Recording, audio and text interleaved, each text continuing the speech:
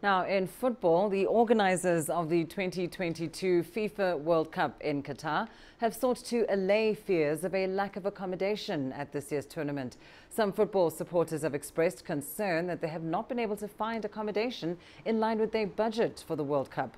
The official in charge of accommodation for the tournament's organizing committee, Omar Al Jaber, says fans will have plenty of options with more than 100,000 rooms currently available and tens of thousands more expected by the uh, tournament's kickoff. Al Jabbar took reporters on a tour of an available apartment in Doha on Tuesday. The tournament is set to run from the 21st of November to the 18th of December. Still, we have a lot of uh, inventories available. We are waiting to, to, for the moment that we can say we are sold out, which is still, we didn't reach that day.